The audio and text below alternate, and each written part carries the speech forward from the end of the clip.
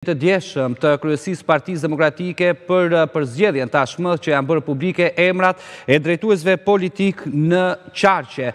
Do të kem në këto çaste, në një intervistë në Skype, ish kryetarin e Partisë Demokratike për 5 vite në Lezhë, zotin Paulin Marku, për të marrë një koment dhe një opinion të tij në lidhje Me vendimin e djeshëm të kryesisë së Partisë Demokratike, në qarkun e Lezhës është vendosur drejtues politik i këtij qarku deputeti Agron Gjekmarkaj. Zoti Marku, përshëndetje. Përshëndetje, falemderit. Falemderit ju që pranuat ftesën. Ju keni drejtuar Partinë Demokratike për, për 5 vite, sigurisht me kontribut shumë të veçantë në krye të kësaj force politike. Cili është opinioni juaj lidhur me vendimin e djeshëm dhe më saktësisht për Lezhën, ku në krye të qarkut do të jetë zoti Gjekmarkaj? Atëherë ju falënderoj jashtë mase për ftesën. Besoj që e duke mos e komentuar shumë emrat, por duke komentuar shumë nevojën. Mm -hmm. Besoj që Partia Demokratike e, është në një moment delikat për arsye dhe për zhvillimet që kanë ndodhur në këto e, vite.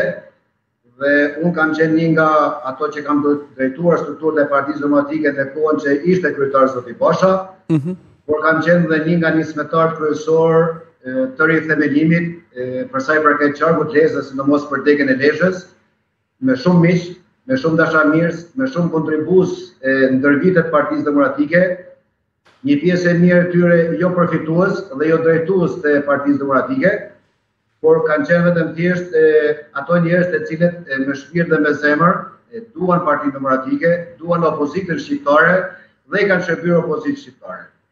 Mm. Vendimi i kryesisë po, e, normalisht ka sjellë një reaksion dhe sipas kontakteve që unë kam me drejtuesit lokalë të grupseksioneve nëpër njësitë administrative të bashkisë së Lezhës, mm -hmm. kanë sjellë një reaksion pasi e, e, shumë demokratë mbështetën pa asnjë lloj mëdyshje, pa asnjë lloj interesi, e, rithemelimin duke pas parasysh humbjet e njëpasnjëshme që partia demokratike në Shqipëri e mori si pasojë e drejtimit jo normal, jo e institucional dhe jo e demokratik të partisë demokratike nga Zoti Basha.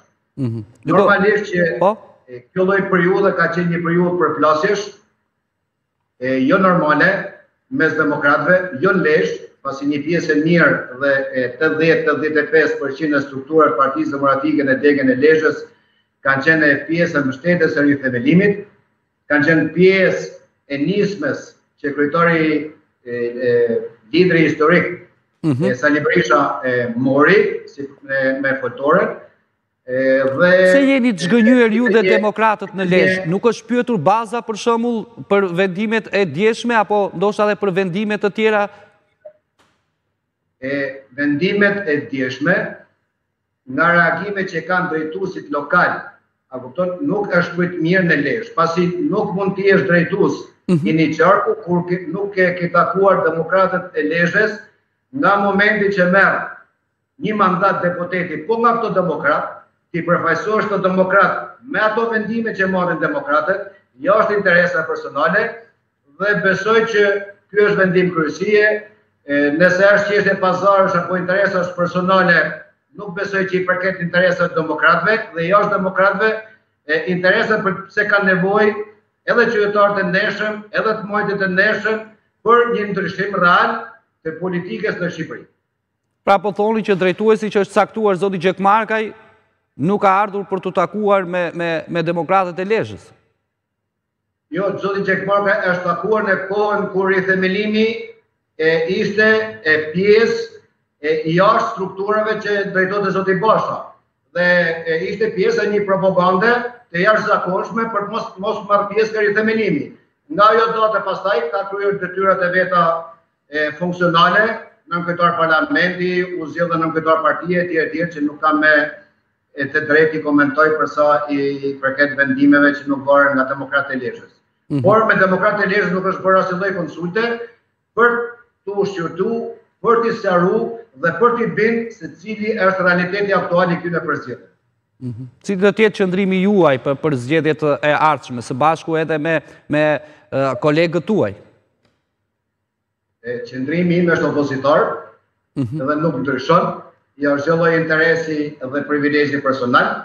Nuk kam hyrë ndonjëherë në Partinë Demokratike për t'u përfaqësuar për interesa personale, sepse kam marrë degën e Partisë Demokratike në 2014 kur Partia Demokratike kishte ardhur nga një humbje skandaloze në 2013 kemi fituar zgjedhjet lokale në Lezhë me këto demokratë të ndershëm, me një diferencë të jashtëzakonshme votash në dy mijë e pesëmbëdhjetën, dhe pastaj çdo gjë është transformuar duke mos marrë pjesë me marrëveshjen me Çadrën e Lirisë, me mosmarrjen pjesë në zgjedhjet lokale dhe futjen e disa deputetëve nga lista që nuk përfaqësojnë demokratët e vërtetë. e të cilët kishin kontribuar në vite dhe pastaj janë e zhvillime politike nga më të lloj të cilët nuk i kanë shërbyer absolutisht demokratëve të ndershëm. Dhe është një fatkeqësi e madhe që përballë një qeverisje me një mijë e një probleme, një nga qeverisjet më të dobta që është ofruar të majtëve, djathtëve, qytetarëve, pensionistëve, administratës shtetërore, e, opozita vazhdon të ngelet me numra, me kulisa, me premisa për interesa personale dhe jo me premisa për të bërë një ndryshim rrejësor dhe cilësor për jetën e këtyre qytetarëve. Lezha po braktiset, komunat, ish komunat, njësit administrative dhe fshatrat janë braktis, e, shkolla, mjekësia janë në një gjendje të mjerushme dhe opozita vazhdon dhe bën pazare dhe kulisa jashtë apo në kurriz edhe të demokratëve, por edhe të qytetarëve të ndershëm të majtë në Lezhë që duan me të vërtetë një ndryshim rrënjësor. Zoti Marku, unë të falenderoj, ishte kënajtësi.